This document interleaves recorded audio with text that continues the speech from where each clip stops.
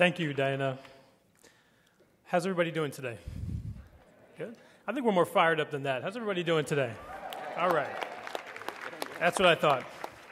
Uh, my name is Etan Fraser, and I proudly join my aunt, Annette Harris, as a family co chair of today's event.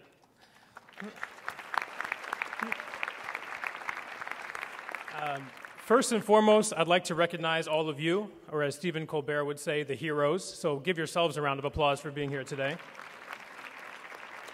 Uh, for being here, you know, for fighting the good fight, in most cases for longer and in ways much more profound than I have, and for keeping this very important issue close to your hearts. I'm here today to tell you a story. And I think this story is important as it relates to the millennial generation on the issue of women's rights, as we are more physically and emotionally removed from the struggles of the past that have led us to where we are today.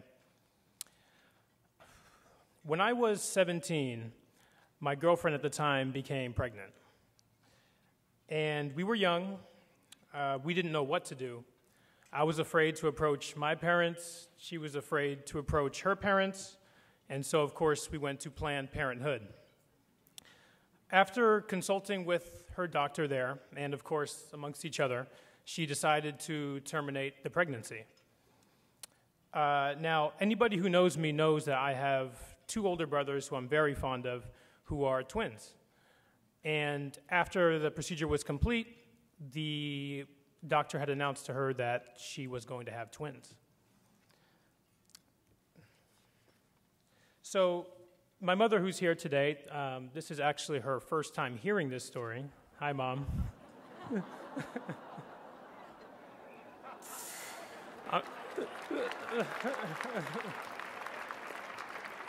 I'm sure we're going to have a long conversation this evening. Uh, the reason why I tell you this is to convey that, like the young woman who you heard about earlier in the program, um, I have also battled with this issue morally. I stand here today because, regardless of that battle, the argument over the right to choose is not just taking place over lunch tables, but in our Congress and in our courts. This, for me, is where I draw the line. I believe that when an issue is brought into the public square, responsible policy cannot be built on a foundation of conviction. And the anti choice movement is guilty of this.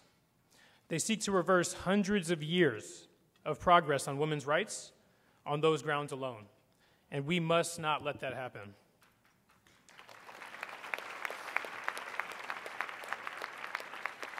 We must not allow a precedent to be set that a handful of anti choice bureaucrats in Washington, male bureaucrats at that, I know you've all seen that picture, uh, be able to decide for a woman what she can and cannot do with her own body, period. So, it is my pleasure and honor to be working alongside Ilyse Hogue, Annette Harris, and the rest of the NARAL family as a millennial organizer, and to be here today with some leaders across the Bay Area. We're sitting over at table number one, uh, who I would encourage you all to meet. Thank you so much.